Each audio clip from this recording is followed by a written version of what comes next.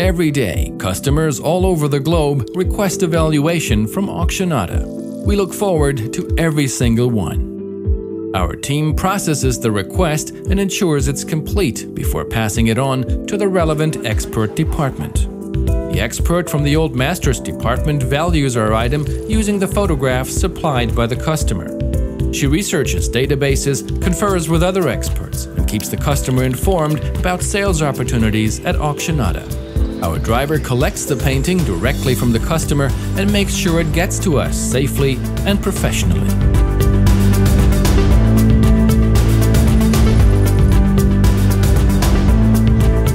We carefully unpack it at the incoming goods department.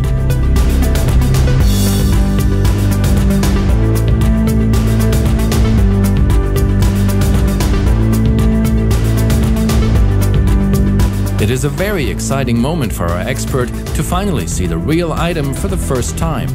Now it can be closely examined and appraised. One of our art historians processes the key information provided by the expert. They will measure the painting and describe it in detail for the auction catalog.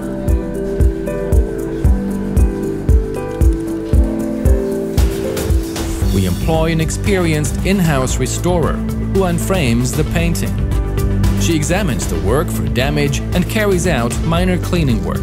We photograph every item in a professional studio, whether it's a vase, a watch, a painting, or a sculpture.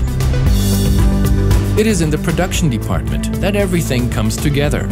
It is here that the auction catalog is produced from separate text, data, and photographs, which is then made available to our customers online.